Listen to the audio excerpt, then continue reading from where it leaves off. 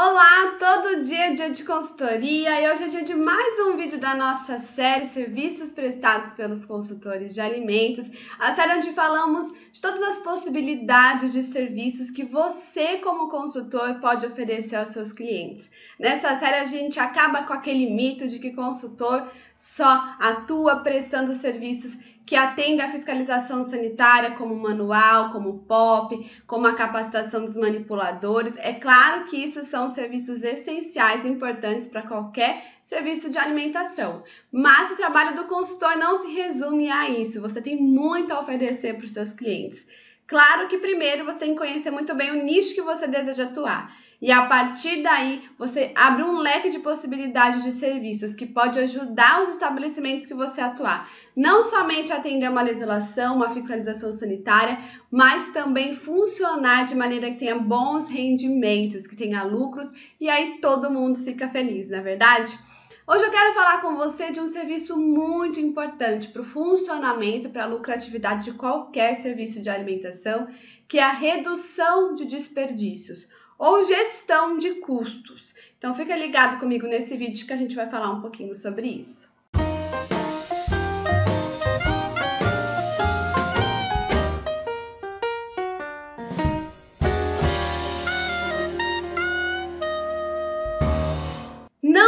Como um serviço de alimentação, restaurante, uma lanchonete, uma padaria funcionar bem se não houver gestão de custos e redução de desperdício. Essas duas coisas elas devem andar juntas.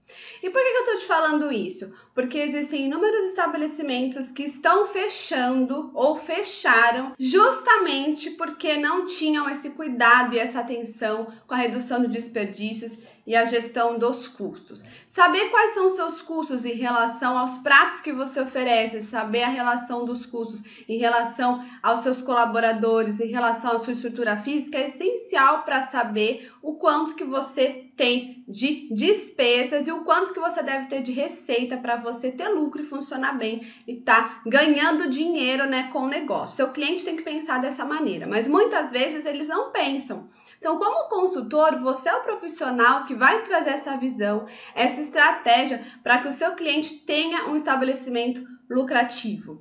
E uma das coisas que mais faz diferença quando a gente está falando em gestão de custos é identificar os pontos onde há mais desperdício. E não só desperdício de alimento, estou falando desperdício de tempo, desperdício de energia, desperdício de matéria-prima. Então, quais são as etapas do processo onde está tendo perdas, desperdício de algo, não necessariamente alimento só.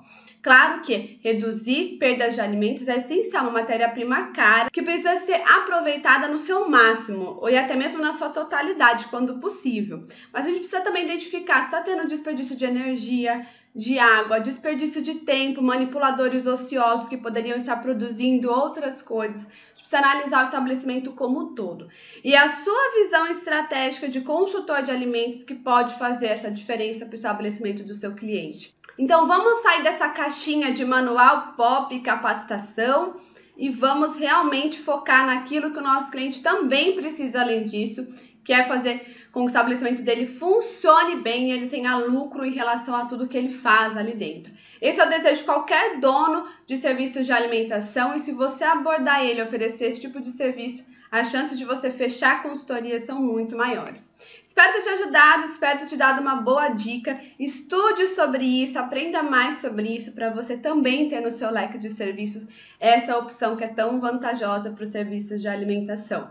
No próximo vídeo vamos falar de implantação de novos processos. E se você quiser saber mais sobre essas novas opções de serviços que o consultor pode oferecer, Aqui embaixo tem a minha agenda dos meus cursos presenciais, onde eu falo muito sobre isso, onde eu abro a visão do consultor em relação ao mercado de consultoria de uma maneira que ele possa ser reconhecido e valorizado pelo trabalho dele. Então, aqui embaixo tem um link para você conhecer a minha agenda dos meus cursos presenciais.